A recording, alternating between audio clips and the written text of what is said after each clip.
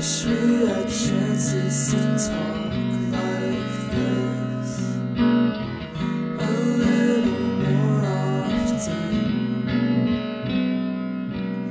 Wish you were always dealing with your girlfriend shit, and I was always.